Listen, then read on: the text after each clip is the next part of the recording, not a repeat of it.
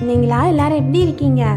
சந்தோஷமா இருக்கீங்களா? இன்னைக்கு நம்ம நாசரே ஊரில் வாழ்ந்த ஒரு குடும்பத்தை பற்றி தான் தெரிஞ்சிக்க போகிறோம் ஒரு நாள் தேவனுடைய தூதனாகிய காப்ரியேல் என்பவர் மரியாள் என்கிற ஒரு ஸ்திரீயை சந்திக்கிறார்.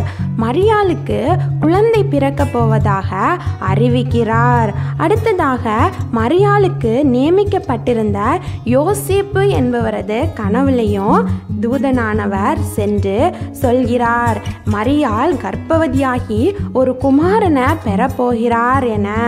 மரியாளும் யோசேப்பும் இயேசு குழந்தையானவர் எப் எப்போ பிறப்பார் என எதிர்பார்த்து காத்திருக்கிறாங்க.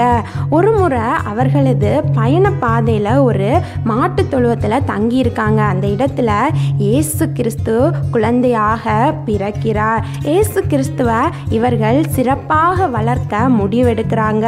கடவுளின் ஆசிக்காக தேவாலயத்திற்கு அழைத்து செல்கிறார்கள். தேவாலயத்தில் சிமியோன் என்கிற தேவனுடைய மனித குழந்தைய கையில் வாங்கி ஆசீர்வதிக்கிறார். கொஞ்ச நாள் தாண்டி இயேசுவானவரை எருசலேம் தேவாலயத்துக்கு மறுபடியும் அழைத்து செல்கிறாங்க. அங்கே போதகர் மத்தியில் பேசி கொண்டிருக்கிறார் குழந்தையை காணாமல் யோசேப்பு மரியால் மிகவும் பதட்டமடைகிறாங்க.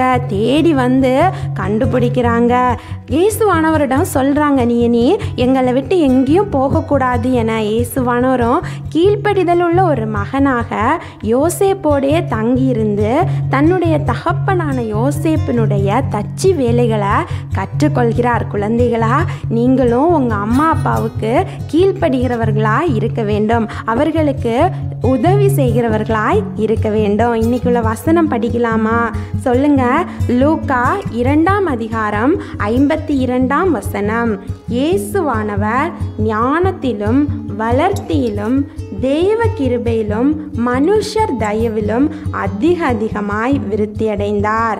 லூக்கா இரண்டாம் அதிகாரம் ஐம்பத்தி இரண்டாம் வசனம். இயேசுவானவர் ஞானத்திலும் வளர்த்தியிலும் தேவ கிருபையிலும் மனுஷ தயவிலும் அதிக அதிகமாய் விருத்தியடைந்தார். சொல்லுங்க இயேசுவானவருடைய தந்தை என்ன தொழில் செய்து வந்தார்?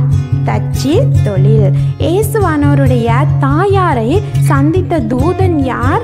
காப்ரியேல் தூதன். இயேசுவானவர் எந்த ஆலயத்தில் போதகர் மத்தியில் பேசி கொண்டிருந்தார் எருசலேம் ஆலயத்தில். அடுத்த ஞாயிற்றுக்கிழமை இயேசுவானவர் ஜெபாலயத்தில் பேசினதை குறித்து நாம் தெரிஞ்சுக்கலாம்.